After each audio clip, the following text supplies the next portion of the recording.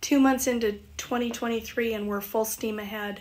Our annual reports for both Discover Kalispell Chamber and Discover Kalispell are both up and available on our websites.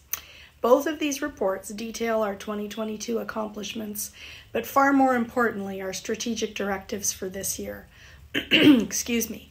The Chamber will continue to, to deliver on workforce development, housing, childcare, serving as your advocacy arm and voice of business, business retention and expansion programming, leadership growth, and making sure we continue to build those vital connections and relationships to grow businesses of all sizes in Kalispell.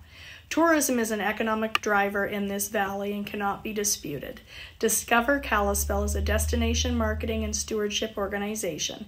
They will work to increase visitor spending in our shoulder seasons to support our small businesses year round and ensure community excellence through tourism stewardship.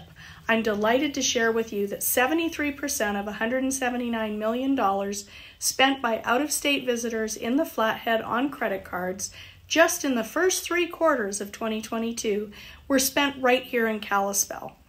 If you don't think tourism keeps our small businesses growing and thriving, you are mistaken. The details can be found in the two annual reports at the links below. Helena and our legislature is quickly approaching what they call transmittal date this Friday. This is the kind of the halfway point of the session and the stage where general policy bills must move from one chamber to the other. That means that if a general policy bill that started in the House, the legislature must refer it to the Senate and vice versa by Friday.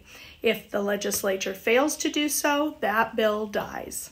This deadline does not apply to the bills that appropriate money or deal with revenue, so the serious and real work still lies ahead.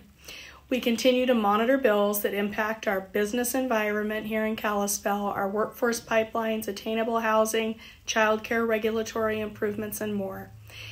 Join Representative Courtenay Sprunger March 9th from 8 to 9 a.m. here at the Chamber for a meet and greet where she'll update us on her first two months and significant achievements in getting some major bills through the process and what she plans for the second half of the session.